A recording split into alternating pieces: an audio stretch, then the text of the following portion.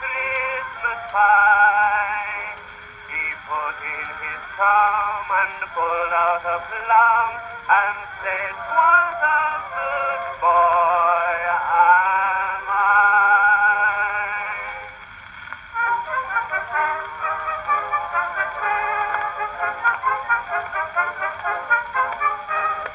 Sing a song of sixpence, a pocket full of rye, four and twenty blackbirds baked in a pie. When the pie was opened, the birds sing. Wasn't that a dainty dish to set before the king? The king was in his counting house, counting out his money. The queen was in the parlor, eating bread and honey.